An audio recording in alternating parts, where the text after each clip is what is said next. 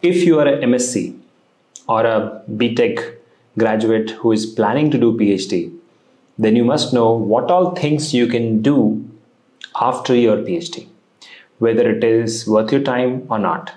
So in this video, we're going to discuss 10 things which you can do after your PhD and we are getting started right now.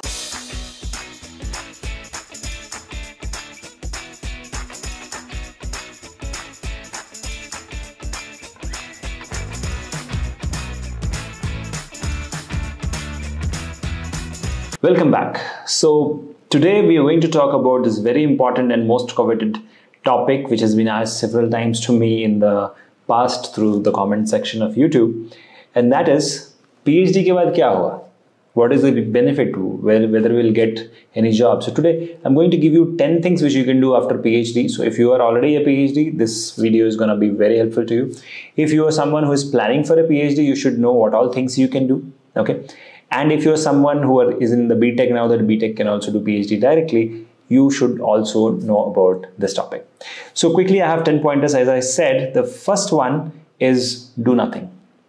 Well, this is for those who believe in the law of attraction and think that if I just sit at one place and people will come and put food in my mouth, do nothing. But trust me, when you do nothing, you get nothing.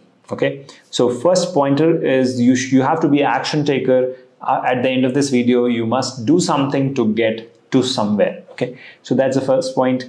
The second one is of course industry. So when you get into the industry what all things you can do? What are things you can get from the industry?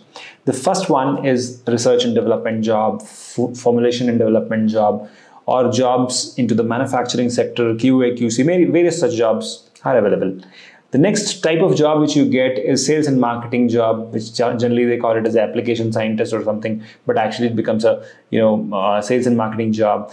Or uh, any uh, machine uh, which is being imported from US, UK and is being sold in India or any software which is being exported from European countries, biotech software which is being sold in India. So you get into the sales and marketing division of that, which is also a very good uh, career avenue if you want to get into industry after PhD. So R&D, R&D, F&D, manufacturing sector jobs, QA, QC, otherwise sales and marketing jobs. So that's the first type of job you can get in the industry. So what I've done is I've created a complete biotech ladder, biotech career ladder. The link is in the description. Please check that out. That will help you Uh, you know get forward get ahead into the industry. And i've also mentioned the salaries there okay? Now coming to the academia. So you, once you decide okay i don't want to go into industry i'll go into academia. So in academia you can become a teacher or a professor assistant professor. You can even you know um, get into private universities government universities as well as coaching companies. Nowadays there are a lot of edtech companies where you can get in. So you can either be a teacher in government universities private universities or you can be a teacher in any coaching company or edtech company like biotecnika Next is in the academy also you can be a part of the management where you become a HOD or a um, manager or some managerial positions into the entire academic infrastructure. So that also you can become. Okay. Now the, the next thing which uh, is there is research. So okay, I don't want to get into industry. I don't want to get into academia, but I want to get into research. Now research is of two types postdoc research or government scientist so you can do postdoc research while you are into a university or you can become a government scientist in some CSIR lab, uh, you know, uh, ICMR lab where you can do some research. So you can also get into postdocs that is further furtherance of research or you can become a government scientist or uh, you know this this gives you a lot of career stability especially the government scientist thing but uh, you will be a part of the bureaucratic process which you may not enjoy but yeah after a phd you can do this as well the next thing which is really absurd, which people do is after PhD they go for MBA. I would say this there's no need, but yeah, people do because they have this knack and learning, you know, expertise. So they do that. So sales and marketing jobs again, eventually you will get if you are doing that. Okay. So yeah, these are the five things which uh, you do here. Now let's let's switch to the other five which we have got today, and that is entrepreneurship. So yeah, when you have a PhD. Most of the PhD holders, which I have seen, they commercialize their PhD topic and they become a uh, entrepreneur. So basically, they commercialize their suppose their uh, PhDs in uh, mushroom cultivation, so they convert it into mushroom cultivation company or somebody. For example, Google. It was a PhD thesis of two research uh, candidates in one of the universities in US and became Google. So yeah, that's where entrepreneurship comes into picture. One of the most rewarding careers you can have is entrepreneurship.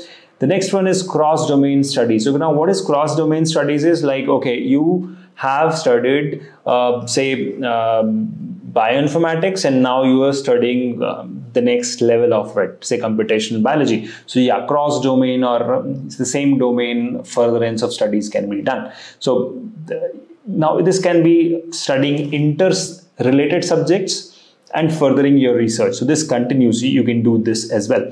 Now, there are many companies and many universities where this kind of research is going, which, which you can get to know if you are subscribed to Biotecnika's newsletter, which is sent every day at 7 o'clock, Monday to Friday. So to subscribe to that, just go to biotecnika.org slash subscribe and you will be subscribed right there. Now coming to the next one, which you can have is applied science. So basically, you know, what you do is you uh, apply your scientific knowledge into critical, commercial and scientific challenges and problems. That's where applied science comes. For example, botany is not applied science, but agri, agri biotechnology is applied science. So that, that's where you further your studies into applied science. That's one thing you can do as a PhD holder.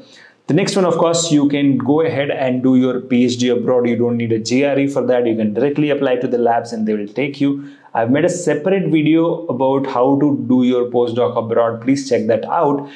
And the last but not the least is YouTube. So if you are somebody, not just YouTube, you can actually become a social media influencer. I would say that's not something you plan to do after PhD, but if you want to become, you like limelight, you can always do. You can always become an influencer. You can uh, be on YouTube, Instagram, and stuff like that, and educate people there or whatever. But I would say uh, currently the way I look at YouTube and social media, it's actually a bubble and it is going to burst. So if you plan to make a long-term career in YouTube, you should think about it because YouTube is something similar to what Facebook was 10 years ago. 10 years ago, everybody was crazy sharing their personal lives on Facebook. Today, nobody is doing that. Today, everybody is crazy making a video on YouTube. 10 years later, nobody will be watching the video. So, that is where it's a bubble. You should not associate your long term career with YouTube. Yeah, side business, it can be fair enough so these are the 10 pointers which i wanted to make i'm not going in much detail here but i'm going to give you a very important hint now which will help you decide what career you should choose okay so before i give you the hint here is a request please put down in the comment section what kind of career you want to choose after your phd no matter wherever you are let us know in the comment section so now here is the hint which i wanted to show you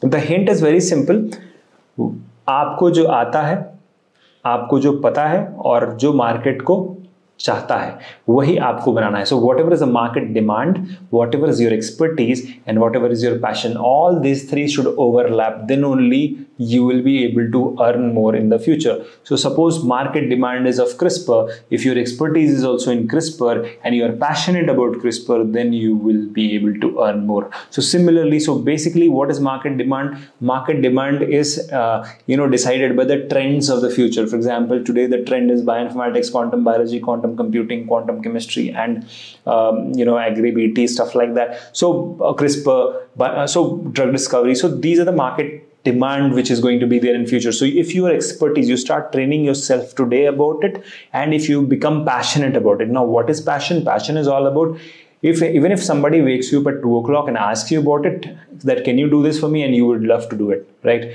So that is the kind of passion you need to get ahead in your career. So here is what is the summary which I wanted to tell you. 10 things in fact more than this you can do. And if you are doing something similar or different let me know in the comment section which will help other viewers of this video as well. So this is all about today's video. Thank you so much for watching.